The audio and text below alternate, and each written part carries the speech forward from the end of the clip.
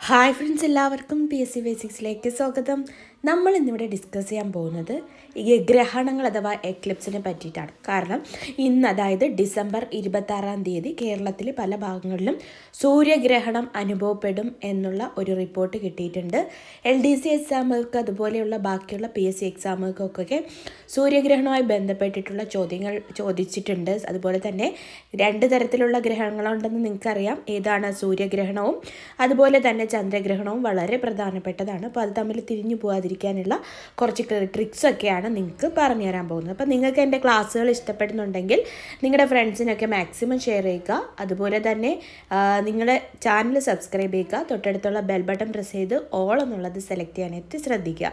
ഇനി Telegram channel എന്ന് പറയുമ്പോൾ എല്ലാവർക്കും അറിയത്തില്ല എന്ന് വിശ്വസിക്കുന്നു നിങ്ങളുടെ ഫോൺ ഒരു സ്മാർട്ട് ഫോൺ ആണെങ്കിൽ നിങ്ങൾക്ക് തീർച്ചയായിട്ടും പ്ലേ സ്റ്റോർ വഴി ടെലഗ്രാം ചാനൽ ടെലഗ്രാം എന്ന ആപ്പ് ഡൗൺലോഡ് ചെയ്യാൻ പറ്റും. ഇതിന്റെ ബെനിഫിറ്റ് നിങ്ങളുടെ ഫോണിൽ സ്റ്റോർ ആവാതെ തന്നെ നിങ്ങൾക്ക് എന്ത് ചെയ്യാൻ പറ്റും? നിങ്ങൾക്ക് കറക്റ്റ് ഇൻഫർമേഷൻസ് ഒക്കെ അതുപോലെ തന്നെ ഫയൽസും പി ഡി എഫും ഒക്കെ ഷെയറബിൾ ആയിരിക്കും. സോ നിങ്ങൾ നല്ലൊരു ആപ്ലിക്കേഷനാണ് നിങ്ങളത് ഡൗൺലോഡ് ചെയ്യുക എന്നിട്ട് P S C basics one എന്നുള്ളത് സെർച്ച് ചെയ്യുക. സെർച്ച് ചെയ്യുമ്പോൾ നിങ്ങൾക്ക് അവിടെ നിങ്ങൾക്ക് ലഭിക്കുന്നതാണ് പിന്നെ എന്താണ് ആവശ്യമായിട്ടുള്ള ഇൻഫർമേഷൻസ് എല്ലാം ലഭിക്കുന്നതാണ്. ഓക്കെ അപ്പോൾ നമ്മൾ സ്റ്റാർട്ട് ചെയ്യാൻ പോവാണ്. ഗ്രഹണങ്ങൾ അഥവാ എക്ലിപ്സസ് എന്നാണ് ഇതിന്റെ ഇംഗ്ലീഷ് വേർഡ് എക്ലിപ്സസ് ഓക്കെ എന്താണ് ഗ്രഹണങ്ങൾ?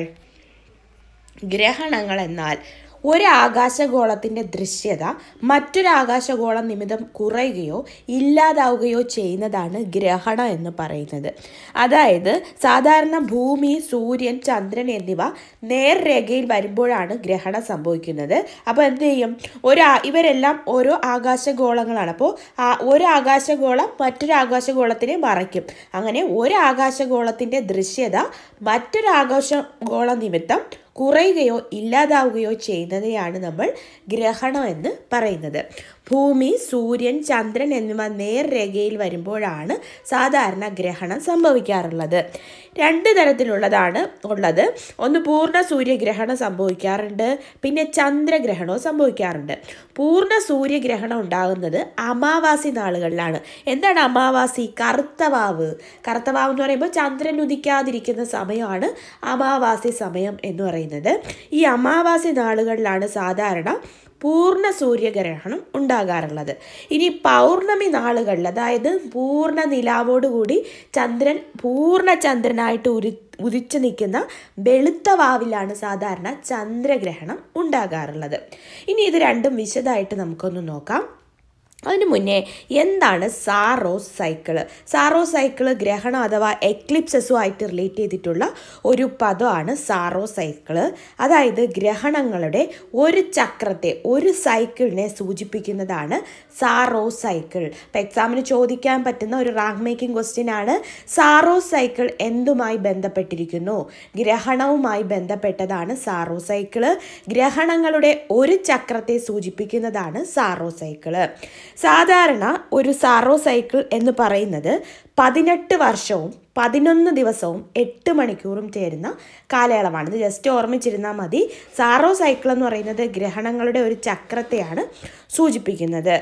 ഈ സാറോ സൈക്കിൾ കണ്ടെത്തിയതും അതുപോലെ തന്നെ ഗ്രഹണങ്ങൾ പ്ര പ്രവചിക്കുവാൻ തുടങ്ങിയതും പ്രാചീന ബാബിലോണിയക്കാരെന്നാണ് വിശ്വസിക്കുന്നത്. ഈ ഗ്രഹണ ചക്രം അഥവാ സാറോ സൈക്കിളൊക്കെ കണ്ടെത്തിയത് ആരാണ്? ബാബിലോണിയക്കാരാണ് കണ്ടെത്തിയത്. ഇനി എന്താണ് ചന്ദ്രഗ്രഹണം അഥവാ ലൂണാർ എക്ലിപ്സ്? ലൂണാർ എക്ലിപ്സ് എന്താണെന്നാണ് നോക്കാൻ പോകുന്നത്. അതിനു മുന്നേ നിങ്ങൾക്ക് അതിന്റെ ഇമേജ് ഇല്ല ഓക്കെ. ലൂണാർ എക്ലിപ്സ് അഥവാ ചന്ദ്രഗ്രഹണം. അതായത് ചന്ദ്രനും സൂര്യനും മധ്യേ ഭൂമി വരും. എന്താണ്? ചന്ദ്രനും സൂര്യനും മധ്യഭൂമി വരെ. നമുക്കറിയാം ചന്ദ്രഗ്രഹണം ഉണ്ടാവുന്നത് എപ്പോഴും വെളുത്ത വാവിൽ മാത്രമേ സംഭവിക്കാറുള്ളൂ. പക്ഷേ എല്ലാ വെളുത്ത വാവിലും ചന്ദ്രഗ്രഹണം ഉണ്ടാവാറില്ല. എപ്പോഴും മാത്രമേ ഉണ്ടാവാറുള്ളൂ.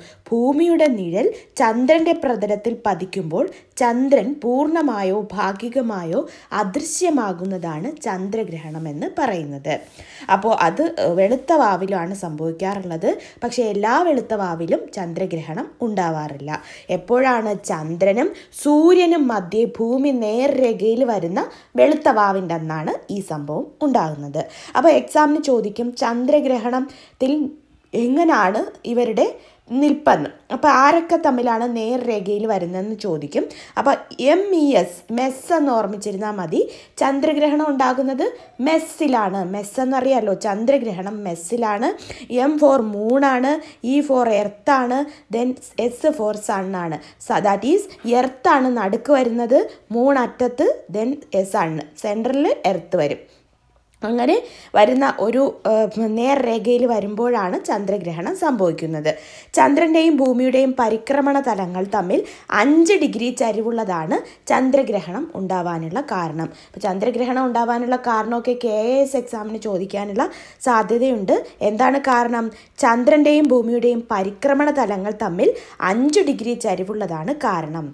ഒരു ചന്ദ്രഗ്രഹണം ഉണ്ടാകാ ഉണ്ടാകാറുള്ള സാധാരണ പരമാവധി ദൈർഘ്യം എന്ന് പറയുന്നത് ഒരു മണിക്കൂർ നാൽപ്പത് മിനിറ്റ് വരെയാണ് ഉണ്ടാകാറുള്ളത്. ചന്ദ്രഗ്രഹണം അങ്ങനെ കണ്ണിനൊന്നും വലിയ പ്രശ്നമൊന്നും നമുക്ക് ഉണ്ടാക്കത്തില്ല. പക്ഷെ ആ പ്രശ്നങ്ങൾ ഉണ്ടാക്കി ഉണ്ടാക്കുന്നത് സൂര്യഗ്രഹണമാണ്. ഓക്കെ അപ്പോൾ ചന്ദ്രഗ്രഹണമാണ് ലൂണാർ എക്ലിപ്സ് എന്ന് അറിയപ്പെടുന്നത്. മെസ് എന്നുള്ള പോയിന്റ് ഓർമ്മിച്ചിരിക്കുക. മൂൺ എർത്ത് സൺ എർത്താണ് നടുക്ക് വരുന്നത്. ഓക്കെ ഇനി എന്താണ് വൃദ്ധിയും ക്ഷയവും? വാക്സിങ് ആൻഡ് വാനിങ് അപ്പോൾ എക്സാമിന് നമ്മുടെ സിനോണിംസ് ആന്റോണിംസ് ചോദിക്കാൻ പറ്റിയ ഒരു ഓപ്പോസിറ്റ് വേർഡാണ് ഏത്? വാക്സിങ് ആൻഡ് വാനിങ് വൃദ്ധിയും ക്ഷയവും എന്നത്. എന്താണ് വൃദ്ധി? എന്താണ് ക്ഷയം? അതായത് അമാവാസി മുതൽ പൗർണമി വരെയുള്ള കാലയളവിൽ ചന്ദ്ര കലകൾ ക്രമേണ വലുതാകുന്നതിനെയാണ് നമ്മൾ വൃദ്ധി എന്ന് പറയുന്നത്. വൃദ്ധി എന്ന് പറയുമ്പോൾ ഉയർച്ച എന്നാണ് മീനിങ് സോ അമാവാസി മുതൽ അതായത് കറുത്തവാവ് മുതൽ വെളുത്തവാവ് വരെ ഉള്ള കാലയളവിൽ ചന്ദ്രക്കളകൾ വലുതാവുന്നു. ഇതിനെയാണ് നമ്മൾ വൃദ്ധി അഥവാ വാക്സിങ് എന്ന് പറയുന്നത്.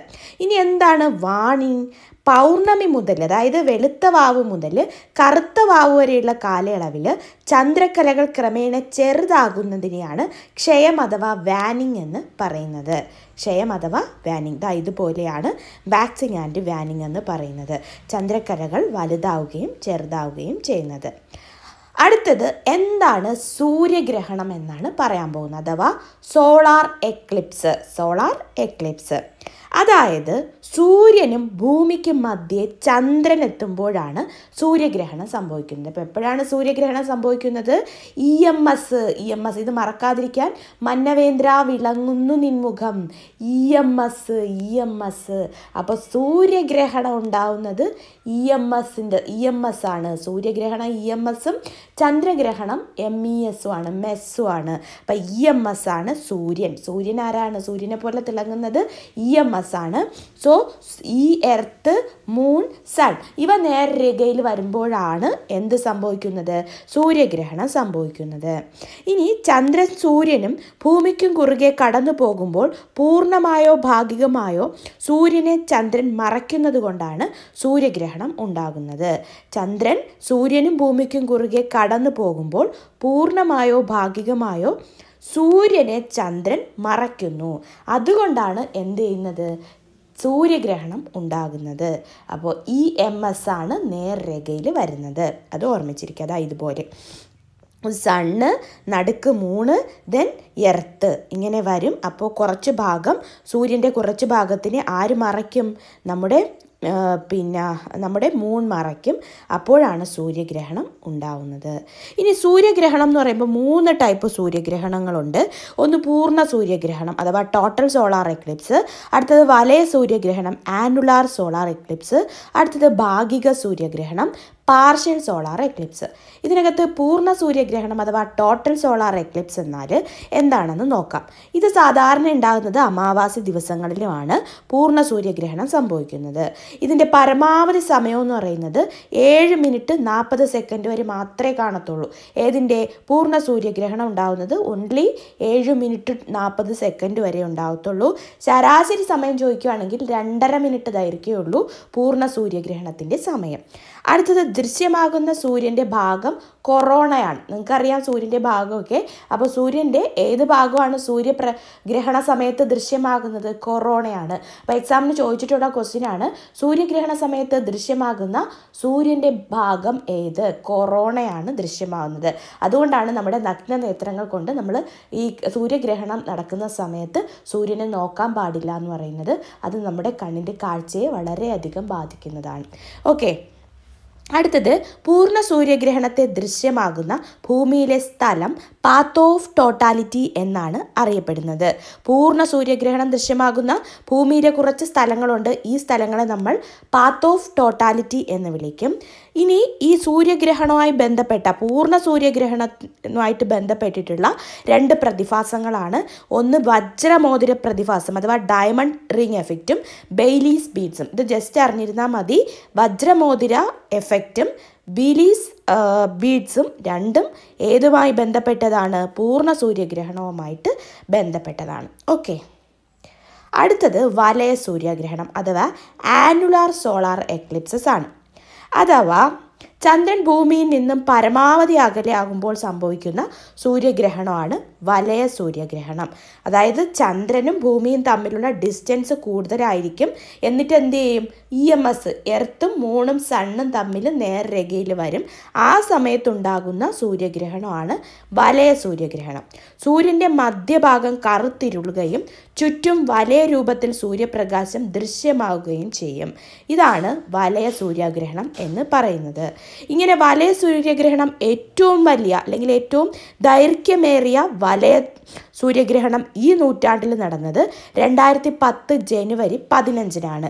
രണ്ടായിരത്തി പത്ത് ജനുവരി പതിനഞ്ചിനാണ് പതിനൊന്ന് മിനിറ്റ് ഏഴ് സെക്കൻഡ് ആയിരുന്നു ഈ വലയ സൂര്യഗ്രഹണത്തിന്റെ സമയമെന്ന് പറയുന്നത്. ജസ്റ്റ് ഓർമ്മിച്ചിരുന്നാൽ മതി. അടുത്തത് എന്താണ് ഭാഗിക സൂര്യഗ്രഹണം അഥവാ പാർഷ്യൽ സോളാർ എക്ലിപ്സ് പാർഷ്യൽ സൂര്യന്റെ ദൃശ്യത ചന്ദ്രൻ ഭാഗികമായി തടസ്സപ്പെടുത്തുമ്പോൾ ഉണ്ടാകുന്ന സൂര്യഗ്രഹണമാണ് ഭാഗിക സൂര്യഗ്രഹണം എന്ന് പറയുന്നത്. അപ്പോൾ ആ കാര്യം കൂടി ഓർമ്മ ജസ്റ്റ് ഓർമ്മിച്ചിരുന്നാൽ മാത്രം മതി. അപ്പോൾ ഇതിനകത്ത് ഏറ്റവും പ്രധാനപ്പെട്ട പോയിന്റ് ചോദിക്കുകയാണെങ്കിൽ സൂര്യഗ്രഹണം എന്താണ്? ഏത് ഏതൊക്കെ നേർരേഖയിൽ വരുമ്പോഴാണ് സംഭവിക്കുന്നത്? അത് ഇ എം എസ് എർത്ത് മൂന്ന് സൺ മൂന്ന് നടുക്ക് വരുമ്പോഴാണ് സംഭവിക്കുന്നത്. ഇനി അടുത്തത് ചന്ദ്രഗ്രഹണം സംഭവിക്കുന്നത് എപ്പോഴാണ്? അതായത് നമ്മുടെ E M S M S അതായത് മൂൺ എർത്ത് സൺ എന്നിവ നേർരേഖയിൽ വരുമ്പോഴാണ് ചന്ദ്രരേഖ ചന്ദ്ര ഗ്രഹണം സംഭവിക്കുന്നത്. പിന്നെ സോറാ സൈക്കിൾ സാറ എന്താണ്? നമ്മുടെ സാറ സൈക്കിൾ ഓർമ്മിക്കുക. സാറോ സൈക്കിൾ ഓർമ്മിക്കുക പിന്നെ മറ്റേ എന്താണ് സാറോ സൈക്കിൾ ഗ്രഹണങ്ങളുടെ ഒരു ചക്രത്തെ സൂചിപ്പിക്കുന്നതാണ് സാറോ സൈക്കിൾ എന്ന് പറയുന്നത്. പൂർണ സൂര്യഗ്രഹണം ഉണ്ടാകുന്നത് കറുത്ത വാവിലും പിന്നെ ചന്ദ്രഗ്രഹണം ഉണ്ടാകുന്നത് പൗർണമി നാടുകളിലാണെന്നും ഓർമ്മിച്ചിരിക്കുക. ഓക്കെ അപ്പോൾ എല്ലാവർക്കും എന്റെ ക്ലാസ്സുകൾ ഇഷ്ടപ്പെടുന്നുണ്ടെങ്കിൽ നിങ്ങൾ നിങ്ങളുടെ ഫ്രണ്ട്സിനൊക്കെ മാക്സിമം ഷെയർ ചെയ്യുക. അതുപോലെ തന്നെ നിങ്ങൾക്ക് എന്തെങ്കിലും ഡൗട്ട്സ് ഉണ്ടെങ്കിൽ താഴെ കമന്റ് ചെയ്യുക. ദൻ എന്തെങ്കിലും സജഷൻസ് ഉണ്ടെങ്കിലും കമന്റ് ചെയ്യാനായിട്ട് മറക്കണ്ട. ദെൻ എന്താണ് ചാനൽ ഇതുവരെ സബ്സ്ക്രൈബ് ചെയ്യാത്തുണ്ടെങ്കിൽ ചാനൽ സബ്സ്ക്രൈബ് ചെയ്യുക. തൊട്ടടുത്തുള്ള ബെൽ ബട്ടൺ പ്രസ് ചെയ്ത് ഓൾ എന്നുള്ളത് തന്നെ സെലക്ട് ചെയ്യുക എന്നാൽ മാത്രമേ കറക്റ്റ് നോട്ടിഫിക്കേഷൻ നിങ്ങൾക്ക് വരത്തുള്ളൂ. ഓക്കെ അപ്പോൾ എല്ലാവർക്കും all the best and thank